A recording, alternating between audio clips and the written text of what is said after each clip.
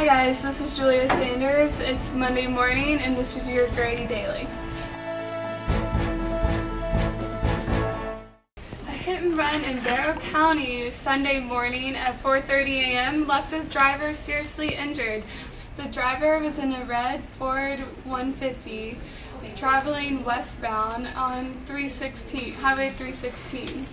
Barrow County Police are asking for anyone with information about the accident to contact them. Purdue Pharma, the narcotics manufacturer accused of fueling the opioid crisis, filed for bankruptcy yesterday.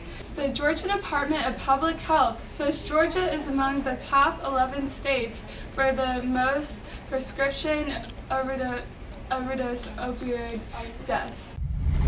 On a different note, this Saturday, Notre Dame is coming to Georgia Bulldogs turf. In order to get students in the spirit for the game day, the Student Alumni Association is having different game day events at the University of Georgia's campus each day this week. They are having free food and Georgia gear.